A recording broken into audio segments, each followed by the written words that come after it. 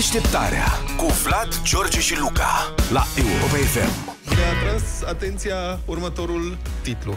Citez. Efectul surprinzător pe care antidepresivele îl au asupra langustelor. Ha?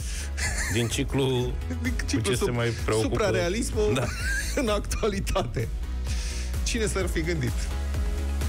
Ce, deci o langustă intră într-o farmacie.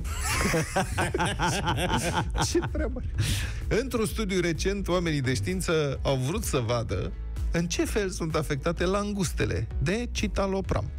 Nu știu ce este, am aflat că e un antidepresiv folosit la scară largă pe întreg mapamondul și problema este că el ajunge în natură și poluează și langustele practic iau antidepresive A, fără să-și dorească acest lucru. Da, da, Mai da. țineți minte că aveam o știre despre creveții din creveții de apă dulce din Creveții Marea drogați. Britanie Da, care da, da, erau da. toți pe cocaină? da. Eu nu știu ce au cu... Că și langustele... Păi tot- langustele n-au cocaină și sunt pe antidepresive. Depresive, da. Deci au ceva, mă, cu, cu... Cum se cheamă? Crustacee. Așa, frate, că nu... Că... Dar de ce oare... De ce adică au are făcut deja asta? sens Da. tot studiul. Pentru Are. că au Ia constatat zi, ei Luca, că de e ce? antidepresiv de ăsta în apă. De data asta chiar are, adică... Dar de ce din Langust? toată fauna din arealul luat respectiv au luat langusta? Da, nu știm. Că e scumpă. Deci, au fost, fiți atenți, două grupe de languste.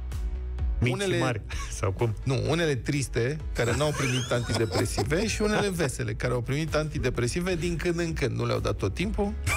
Experimentul a avut loc în mediu controlat, în niște bazine care conțineau inclusiv alge sau pietre, ba chiar și microbi specifici. Deci ca la ele acasă. Da, da, da. Mizerie, necurățenie, nu știu ce, langustele, unele cu, altele fără antidepresive. După două săptămâni, în care fiecare langustă mascul, deci fiecare langust a Da. stat în acvariul său, acestora li s-a deschis posibilitatea de a explora și alte bazine.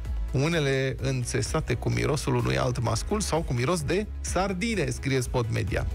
Eu nu înțeleg, sardinele sunt Adică e trufanda pentru langustă sau din potrivă e pericol, e prădător? De sardina papă langusta sau langusta papă sardina? Cred că langusta Eu aș papă pune banii sardina. pe langustă, da. Langusta? Mi se Sardina pare?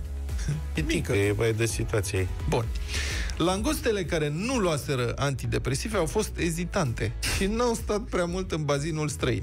Auzi, da, Celelalte... sardinele luaseră și ele antidepresive sau erau fără? Nu mă, le-au deschis ușa. Păi nu că au pus doar miros de sardină, nu sardină. Da. Aromă. Celelalte au fost însă mult mai aventuroase. Deci, languștii fără antidepresive au fost S-au timizi culcat. și triști, s-au dus puțin la discotecă și s-au întors, în timp ce languștii cu antidepresive au intrat relativ repede în bazinele neexplorate până atunci, unde au și petrecut de trei ori mai mult timp.